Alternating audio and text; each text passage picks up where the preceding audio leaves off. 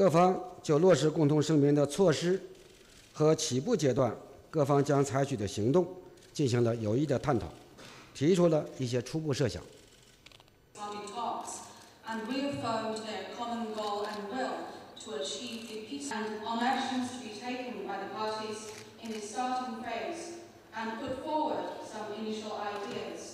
各方还通过密集的双边磋商就解决彼此关切坦率深入的交换了意见。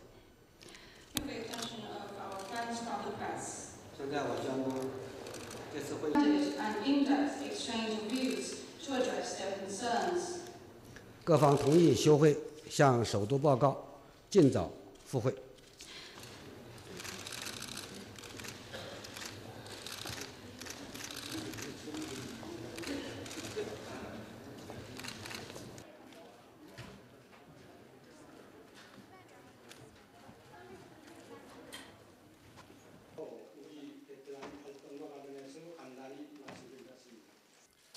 우리는 이번 회담에서 에, 우리의 비핵화 의지를 다시 한번 천명했습니다.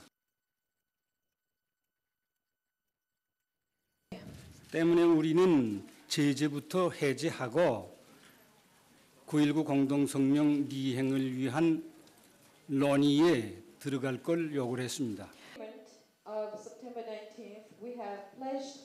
Of September 19th, we have pledged our nuclear 프로 회담 전망과 관련해서는 미국이 우리에 대한 적대시 정책을 그만두고 공존회로 관여회로 나오겠는가 안 나오겠는가 하는 데 달려 있습니다. 방패라는 것은 우리의 억제력을 더욱 향상시킨다는 겁니다.